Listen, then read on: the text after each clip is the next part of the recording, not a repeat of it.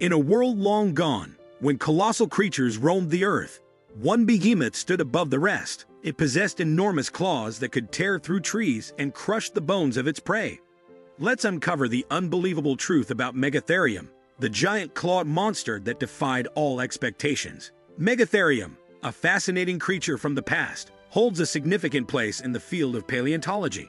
Defined as a genus of extinct ground sloths, this monster has captivated scientists and enthusiasts alike with its immense size and unique adaptations. Its importance lies in the insights it provides into prehistoric ecosystems and evolutionary history.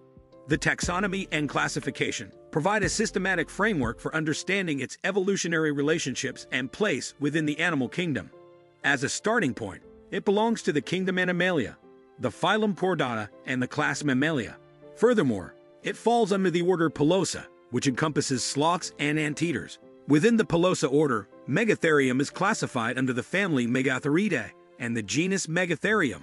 It is important to note that they encompass several species, each denoted by distinct variations within the genus. The taxonomy and classification of them enable researchers to establish connections between different species and trace the evolutionary history of these extraordinary creatures. Its sheer size is awe-inspiring. On average, they reached lengths of about 6 meters and could weigh up to 4 tons, making it one of the largest ground sloths to have ever existed. Its skeletal structure reveals notable adaptations for supporting such immense weight. They had a robust and sturdy body, with a barrel-shaped chest and powerful limbs. Speaking of limbs, Megatherium's forelimbs were particularly remarkable. Its arms were disproportionately long, allowing it to reach vegetation high above the ground. These adaptations indicate a predominantly arboreal lifestyle. Even though it was a ground-dwelling species, its hind limbs were also strong and muscular, suited for both walking and supporting its massive body weight.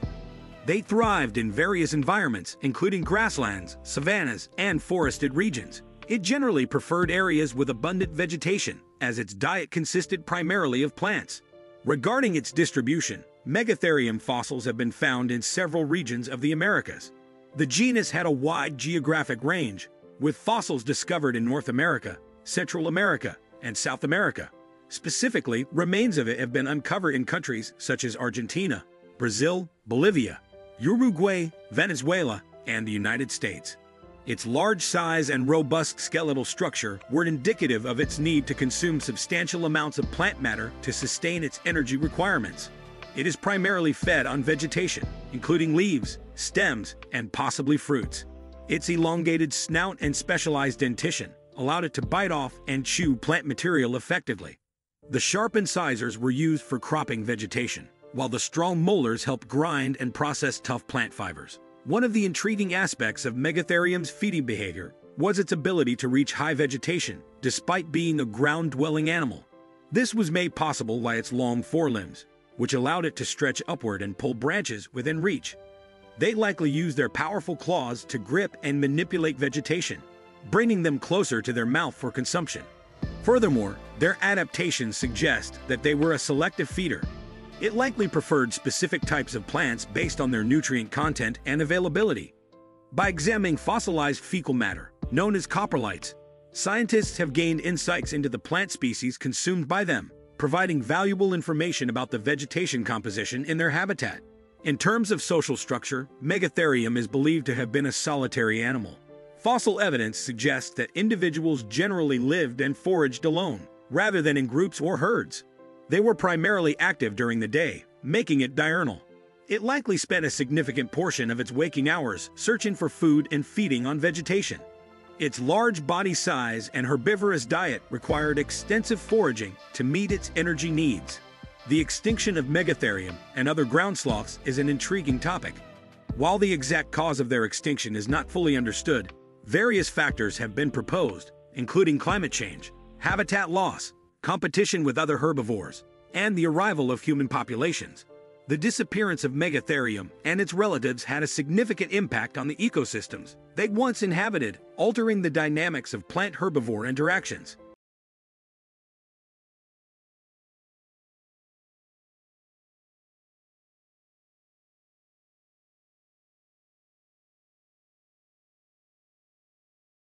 In the vast annals of prehistoric predators, There exists a creature that haunts the shadows of time, lurking in the forgotten depths of ancient history. It is a predator so formidable, so savage, that its very name sends shivers down the spines of paleontologists and adventurers alike. Prepare to be enthralled by a tale of teeth, claws, and unyielding dominance as we delve into the world of Tarbosaurus, the most ferocious predator you've never heard of. To begin with, it is essential to provide a clear definition and delve into its background. Tarbosaurus, derived from the Greek words tarbos meaning terror and sauros meaning lizard, belongs to the theropod group of dinosaurs. This carnivorous dinosaur shares similarities with the well-known Tyrannosaurus rex, exhibiting features that captivate researchers and enthusiasts alike. The discovery and subsequent classification of this dinosaur have shed light on the ancient world and enriched our understanding of prehistoric life. Similar to its famous relative, the Tyrannosaurus rex, Tarbosaurus was a large dinosaur. Fossil evidence suggests that it could reach lengths of up to 40 feet and stand at a height of approximately 15 feet at the hip. In terms of weight, estimates indicate that it could weigh anywhere between 4 to 6 tons, making it a formidable predator of its time. Examining its skeletal structure and anatomy, this dinosaur possessed a robust body supported by strong limbs. Its hind legs were particularly powerful, enabling swift movements and facilitating its predatory lifestyle. The skull featured a large, gaping jaw equipped with sharp, serrated teeth, which were well suited for tearing and crushing its prey. These teeth, along with its strong bite force, exemplify its adaptation as a carnivorous predator. Moreover, it exhibited unique features and adaptations that set it apart within the dinosaur kingdom. Its skull, for instance, displayed distinct crests and bony ornamentation, believed to be used for display purposes or species recognition. Additionally, its powerful neck muscles and well-developed sense organs, such as vision and olfaction, likely contributed to its hunting prowess. It inhabited a specific geographic range during the late Cretaceous period. This range primarily encompassed what is now known as modern-day Asia, with fossil discoveries primarily concentrated in present-day Mongolia and China. It's inhabited diverse paleo-environments within this range, including both terrestrial and semi-aquatic ecosystems. These regions consisted of lush forests, open plains, river systems, and wetlands. It is believed that Tarbosaurus thrived in environments where it could find ample prey, such as herbivorous dinosaurs like hadrosaurs and ceratopsians. The presence of these dinosaurs within these habitats suggests that it was well adapted to a variety of ecological niches. Its ability to navigate different landscapes demonstrates its versatility as a predator, capable of pursuing prey across diverse terrains. Studying the habitat and distribution of Tarbosaurus provides valuable insights into the ancient ecosystems it inhabited and the interplay between predators and their environments during the late Cretaceous period. It is believed that it exhibited a social structure similar to that of other large theropod dinosaurs. Fossil evidence suggests the presence of multiple individuals in close proximity, indicating potential pack or family-like groups. These social structures could have provided benefits, such as cooperative hunting or defense against larger predators. In terms of hunting strategies, Tarbosaurus is thought to have been an apex predator, employing various techniques to capture its prey. Its robust build, powerful limbs, and strong bite force suggest an ambush-style hunting approach, where it could swiftly overpower and incapacitate its victims. Furthermore, its keen senses, including excellent vision and olfaction, likely aided in tracking and locating potential prey. Reproduction and nesting habits of Tarbosaurus remain speculative due to limited fossil evidence. However, drawing insights from related species like Tyrannosaurus rex it is plausible that Tarbosaurus engaged in nesting behaviors. They likely constructed nests for their eggs and guarded them, ensuring the survival of their offspring. Interactions with other species were an integral part of Tarbosaurus' lifestyle. Sharing its ecosystem with a diverse array of dinosaurs, they potentially competed with other large predators for resources and territory. Encounters with herbivorous dinosaurs may have resulted in intense prey-predator interactions, and influence the overall dynamics of the ecosystem.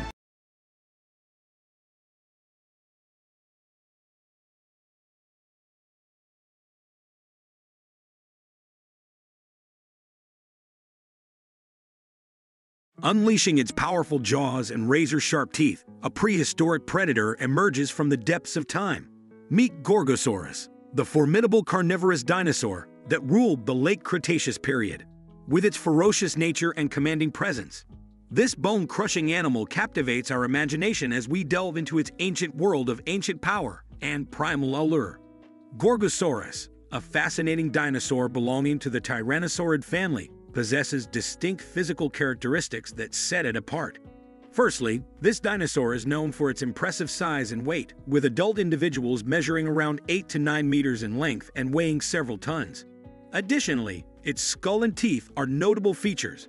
The skull is large and robust, housing a formidable set of sharp, serrated teeth designed for tearing through flesh. Their teeth, along with its powerful jaw muscles, enabled them to effectively capture and devour their prey. Moving on to its limbs and locomotion, Gorgosaurus had short forelimbs that were armed with sharp claws, likely used for grasping and holding onto prey.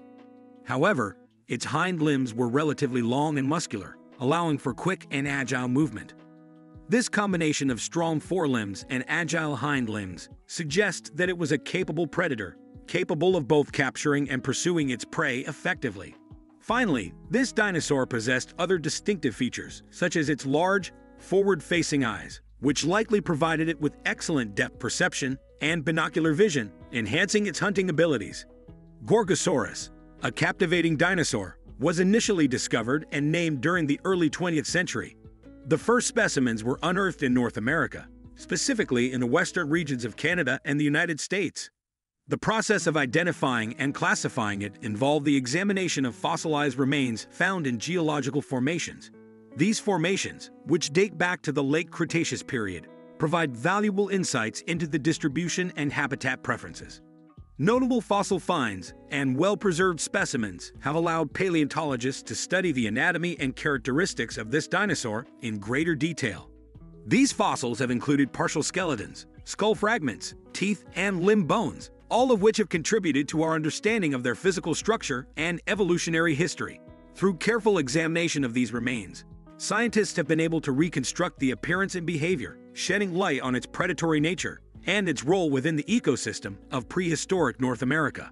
As a carnivorous dinosaur, it primarily feed on other animals, and its hunting techniques were well suited for capturing and subduing prey. Gorgosaurus likely employed a combination of stealth, speed, and strength to pursue and ambush its victims. It may have relied on its keen senses, such as its acute vision and sense of smell, to locate potential targets. Once within striking range, it would have utilized its powerful hind limbs to launch quick and precise attacks, overpowering its prey with a combination of force and agility. There is evidence to suggest that Gorgosaurus may have exhibited social behavior, possibly engaging in pack hunting. Fossil discoveries have revealed the presence of multiple individuals in close proximity, suggesting that these dinosaurs may have hunted together cooperatively taking down larger prey or maximizing their hunting success. This social behavior would have provided advantages in terms of increased hunting efficiency and defense against larger predators. Gorgosaurus preferred habitats that offered suitable conditions for its predatory lifestyle. It likely inhabited areas such as floodplains, forests, and open grasslands, where it had access to a diverse range of potential prey. The availability of water sources within their environment would have been crucial for them, ensuring a steady supply of water for hydration and supporting the survival of their chosen prey species. In terms of diet, Gorgosaurus was a formidable carnivore with a varied menu. Its diet primarily consisted of herbivorous dinosaurs, such as hadrosaurs and ceratopsians, which were abundant during the late Cretaceous period. The powerful jaws and sharp, serrated teeth of Gorgosaurus were well suited for tearing through the flesh and bones of its prey. This dinosaur would have likely employed a grab and bite feeding strategy, using its jaws to seize and tear chunks of meat from its victims.